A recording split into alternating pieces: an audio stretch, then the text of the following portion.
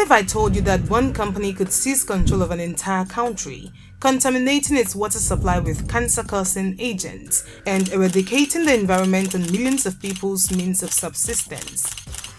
A corporation that has complete control over the military of a large country and uses violence against protesters to further its goals. Well, Shell has been experiencing this in Nigeria. The largest royal families in the world own companies like Shell, which has effectively colonized an entire nation. They've created a strategy for businesses all over the world to overthrow governments. This is a story that has received international coverage. It's time we had the conversation about propaganda because if people knew the full extent of the story, there would be a worldwide chaos. So how did one company manage to rule a whole country? You must take a number of steps I suppose. Choosing which country will be the target is the first and most obvious step in taking over a foreign country. Untapped resources must exist there, whether they be people, minerals or oil. It would be ideal to have all three, and it would even be better if these were the main sources of income for the nation. Whether it be solid bananas, diamonds, copper or oil, which is the most abundant of all. Second, the business must have the power to influence the government. Although force can be used to achieve this, financial influence over a nation is much simpler and more effective. Which nation meets these requirements since no one will notice and everyone will benefit? Why could Shell find a country with untapped oil reserves and a military and government that were amenable to corruption? Well, it so happened that Nigeria checked off every single item on the list, making it the ideal nation. It was time to move on to step 2, which involved making Nigerian officials totally dependent on Shell. So how do you make Nigerian government officials reliant on a single company? Well, you need to manage their primary exports. The process was straightforward because this is oil in the case of Nigeria. Controlling the infrastructure for oil extraction was one of the main ways Shell would seize power in Nigeria. Shell would promise the Nigerian government, we will develop your country, give you tons of jobs, and bring you tons of foreign investment. If we're allowed to build the infrastructure for oil extraction. And at first glance, this seems like a fantastic deal for the Nigerian government.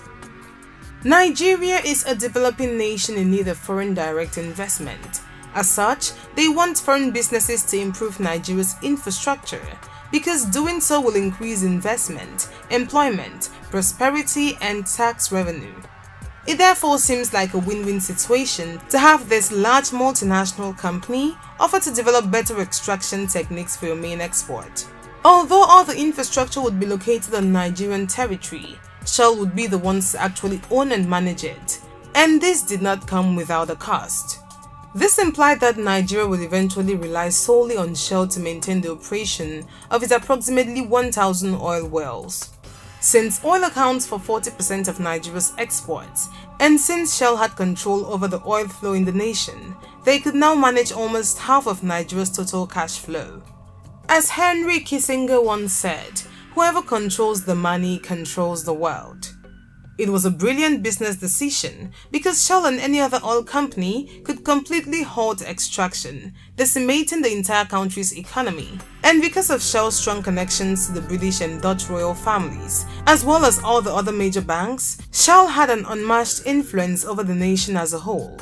They would then instruct other significant corporations to discontinue their investment in Nigeria, depriving the nation of everything and suffocating it. Shell also controls the oil distribution system, so even if Nigeria were to by some miracle succeed in taking control of the extraction process, Shell would still be required to export the oil out of Nigeria. Furthermore, since oil revenue accounts for more than 65% of the government's revenue in Nigeria, Shell is essentially the country's father.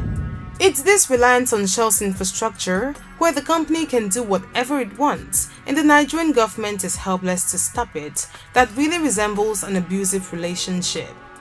The economy would enter a severe recession if Shell stopped extracting oil, leaving the government helpless and insolvent. The Nigerian government was well aware that this issue would soon result in civil unrest and revolt. So, why is the Nigerian government acting so indifferently? Why did they allow this occur at all? This brings us to the third stage of controlling a nation, I suppose bribery. It was time for Shell to gain access to the government once Nigeria became reliant on them for oil. Shell previously transferred $1.3 billion to Nigeria, knowing that it would end up in the hands of convicted money launderers. According to an anti-corruption investigation, after receiving the $1.3 billion, various middlemen received the money instead of Nigeria. After giving the Nigerian president and his deputies $466 million of that, Shell was granted access to the OPL 245 oil field, increasing the company's overall oil reserves by one-third. According to them, the EFCC is looking into whether the 2011 $1.3 billion purchase of OPL 245 involved acts of conspiracy, bribery, official corruption, and money laundering. Despite the mutually beneficial relationship between Shell and the Nigerian government, Nigerian citizens weren't exactly the targets of the bribery.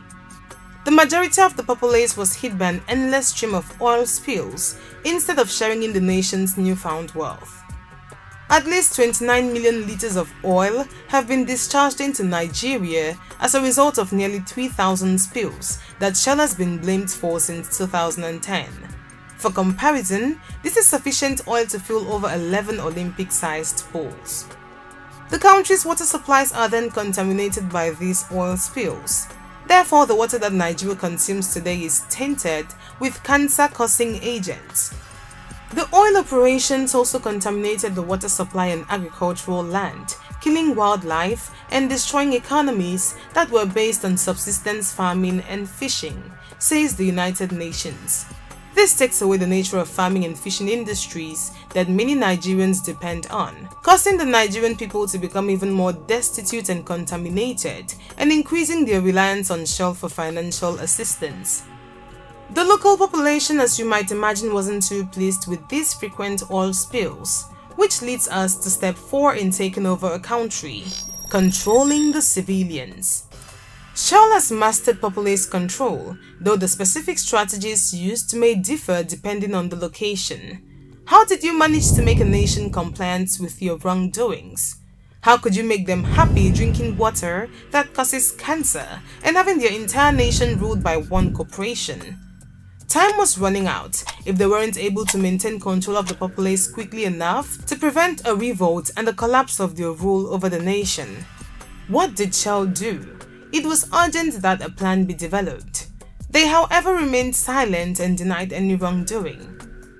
All the four cases were sabotage, so not actually done by Shell, they were actually by criminals who steal products. In actuality, despite the increasing wealth and power it was extracting from Nigeria, Shell only admitted responsibility for less than 40,000 gallons of oil spills, or about 0.5% of the total amount, up until 2011. However, the denial of any wrongdoing was short-lived. Shell needed to behave like all good dictatorships, stifling any opposition with propaganda and using all of their resources. They plan to suffocate the populace using the money they extracted from Nigeria. Shell has long attempted to influence public opinion in their favor, but this hasn't always been done through conventional means. Shell would covertly fund a number of publications in the 60s that fanned the flames of civil war in Nigeria.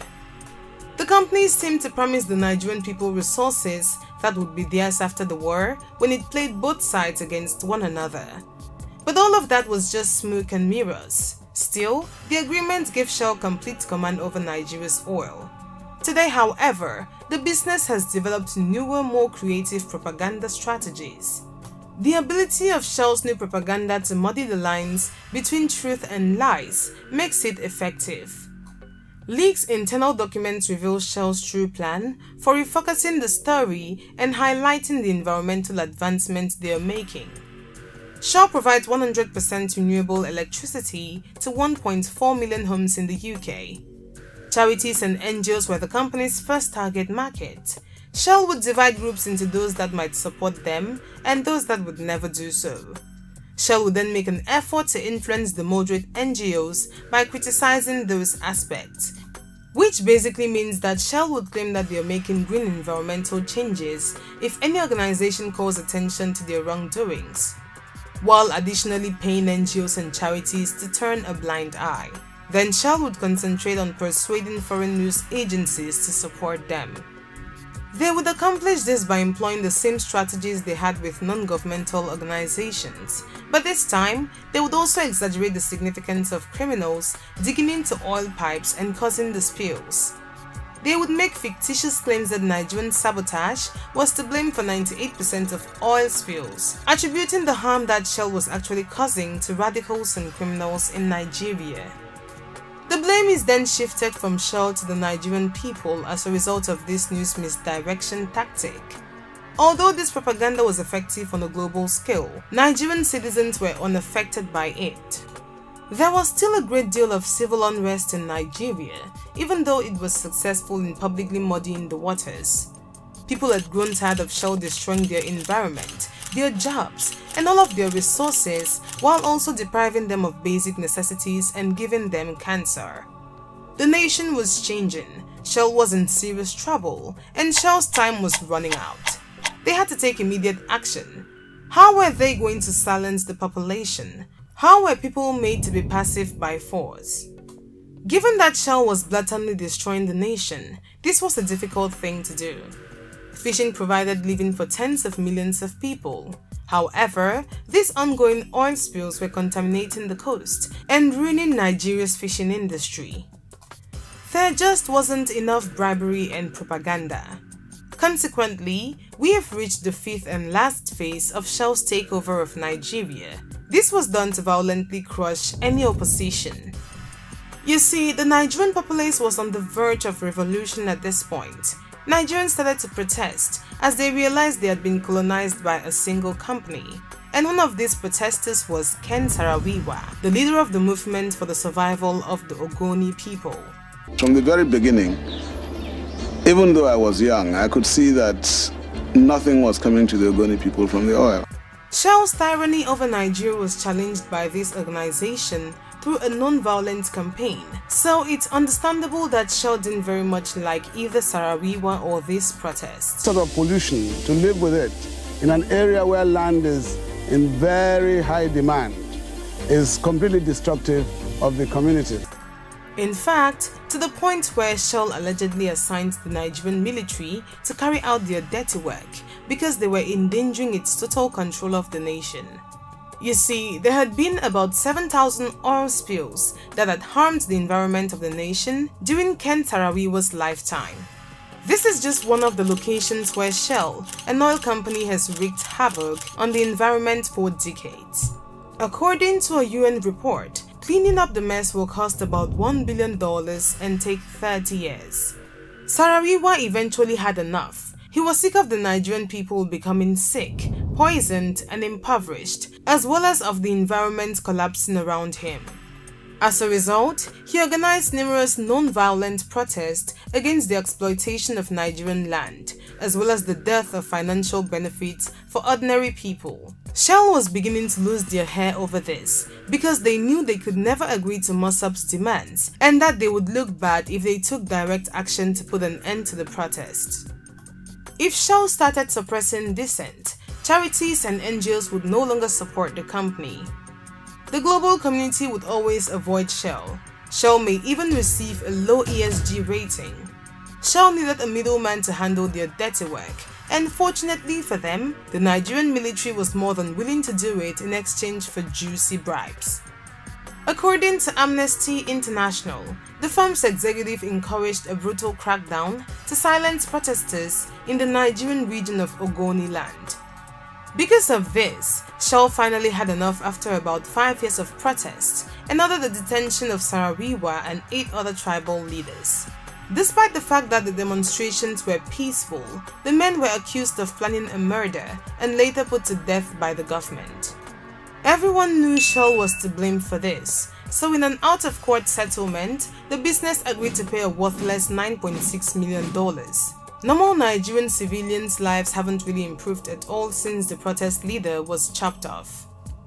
In fact, this has only served to strengthen Shell's hold over the entire nation, which is why radical dissidents have started taking their own action. Inadvertently giving Shell more justification to control the protests, groups outside of Nigeria have started sabotaging pipelines in Nigeria, causing even more spillage across the country. Additionally, a new militia known as the Movement for Emancipation of the Niger Delta kidnapped and held for ransom a number of the oil company's employees. Despite a ceasefire being declared in 2009, the situation didn't improve because the Nigerian government later declared an all-out oil war in the nation. Shell and the Nigerian government are fighting against the population's deprivation and poisoning. It will take a complete revolution to drive Shell out of Nigeria because of how close to a monarchy they have become there. Since the government and military are wholly controlled by Shell, third-party intervention is almost certainly going to be necessary. Furthermore, Shell shows no signs of slowing down anytime soon. Because of the escalating military conflict over the oil operations in the Niger Delta, whether it be through piracy, kidnappings, bombings or other insurgency, violence is prevalent in the region. While this is going on, Nigeria's resources are depleting day by day and the population is getting poorer and poorer.